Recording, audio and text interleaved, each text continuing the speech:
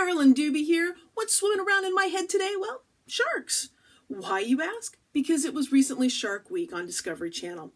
And I love watching that. I love seeing the science and just the, oh, they're just majestic watching them swim through the water. Granted, they're also pretty fierce when they're going around, you know, eating whatever they want to eat, and it's not like I want to get in the water with them, but I do think they are amazing creatures. It also has a bunch of nostalgia for me because I remember back to the early days of Shark Week when I was much younger, showing my age again, and how exciting that all was. Well, I decided to capture both my fascination and interest in sharks as well as nostalgia in an art journal page as I play around with a little color. Warning, these colors are not, how shall we say, realistic interpretations. Anyway, enough of my talking, let's take a look. Well, here's the deli paper that I started with. I had created this from cleaning off stencils when I was playing around with some of my new stencils from over at StencilGirl Products slapping on some gel medium there, and then I'm going to stick the deli paper right on top. Whenever I'm working with deli paper, there are always a few wrinkles here and there because, well, I'm just not that careful with this, so I'm sure if I worked a lot harder at it, it could be even smoother. But a little wrinkle, I say it gives it texture. And then that white space, you knew it was going to disappear, didn't you? I'm just grabbing a cosmetic sponge and smearing color all around it. Now, this art journal page, well, this thing has been a labor of love in the sense that it took a long time. Not that I worked on it for a long time, but there were some big gaps in between different layers. So I'd made the deli paper a while back, and then I put into the art journal page and I put the color around it like what you're seeing here. And after I got to that state, I just really liked it as it was. So rather than fight it or force it, I let myself just enjoy it there. I couldn't bring myself to put anything on top of it, so I just let it be. And it sat for a little while, I think for a week or two, about like that point, before I decided I wanted to add something to it. So keep in mind with this as you're seeing it, there was a lot of time in between some of these layers, because that's how it rolls for me sometimes. Well, it took the nostalgia of Shark Week to snap me out of just looking at this page and adding some more to it. Those are stencils that I hand cut just out of cardstock. And if you've ever cut stencils out of cardstock, yeah, they don't last very long, kind of no matter what I do. So, and they also warp on me pretty badly. So what I was showing you there was some repositionable glue stick. I put that all over the back of it to help hold it a little bit flatter because even when I cover it with gesso even I do all those things, it still ends up getting warpy on me whenever it's a paper um, stencil. So I'm going to make it so that it stays where it's supposed to stay, and then I'm going to come and stencil on top of it. Now the paint that I'm going to be using is a Dylusions paint, and I love the blue in it, and that's the color that I wanted.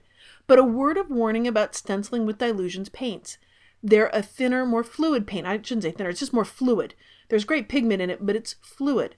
So the runnier something is, the more likely it is to go under a stencil. So I'm actually having to really concentrate to actually make sure I just go up and down with my cosmetic sponge because if I do my usual side to side stuff, it's going to push a more fluid paint right under there. And I kind of want to hang on to the lines that are happening around these sharks. So my fingers are crossed that I'm being patient enough, but I can tell you it is very difficult for me to actually keep going up and down with that sponge when really I just want to go side to side and get it done quickly.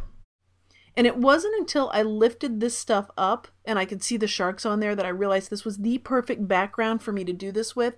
So I am so thankful to my muse for getting me to take a break with this before I thought of this idea. Does that make sense? I hope that makes sense. Well, anyway, here's what the sharks look like. I've pulled off the stencil, but they need eyes and gills. To be able to get a nice bright white on them, that is high flow paint filled into that bottle. And now I'm just going to draw some gills on them about where I think gills go on sharks. Just a disclaimer here, these are not actual scientific representations of a shark. This is an artistic interpretation of one in case you weren't sure. Gonna trace around the edges because even though I was trying to be as careful as I could be, I wasn't perfect. So I'm gonna smooth out those edges using a white Stabilo pencil. And some of the paint is even still wet, not going to be a problem. It'll just kind of smear around and it'll all work out just fine. But it kind of just defines my edges a little bit, makes me feel better about evening stuff up. Because really, you can barely see most of those lines that I'm doing, but for some reason, I feel much better when I have those on there.